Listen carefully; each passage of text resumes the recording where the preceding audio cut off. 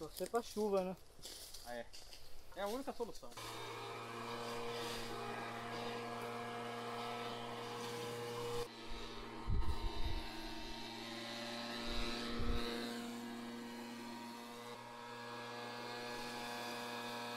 O, o fogo é, uma, é, é, aqui no Pantanal é muito, muito complexo, né? Então assim, aqui mesmo para sanar mesmo, nunca queimou tanto, né? 22 anos que se fala, nunca queimou tanto.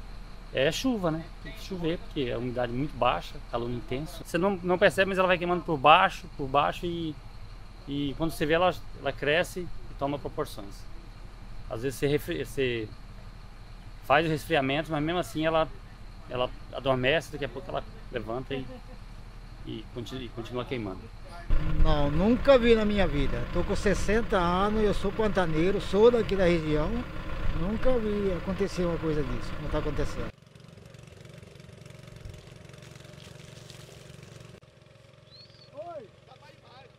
Da empresa lá, a gente está pagando, tentando apagar, né?